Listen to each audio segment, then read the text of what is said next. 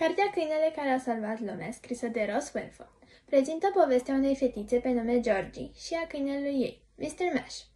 Cei doi alături de cel mai bun prieten al lui Georgie, Ramsey, trebuie să oprească răspândirea unei boli care se transmite la câini. Ceea ce m-a impresionat la această carte este curajul lui Georgie. Ea pornește într-o călătorie în viitor pentru a salva viețile tuturor câinilor din lume, deși știe că există riscul de a nu se mai putea întoarce. M-am regăsit mult în acest roman. Sunt sigură că dacă aș fi fost în locul lui Georgie, aș fi luat aceeași decizie. Și eu am la rândul meu un câine pe care îl iubesc extraordinar de mult și aș face orice pentru a-l apăra. În această carte este vorba despre prietenie și vitejie.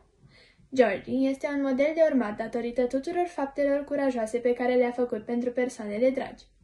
Este important să facem tot ceea ce ne stă în putință pentru a ajuta pe cei pe care îi iubim.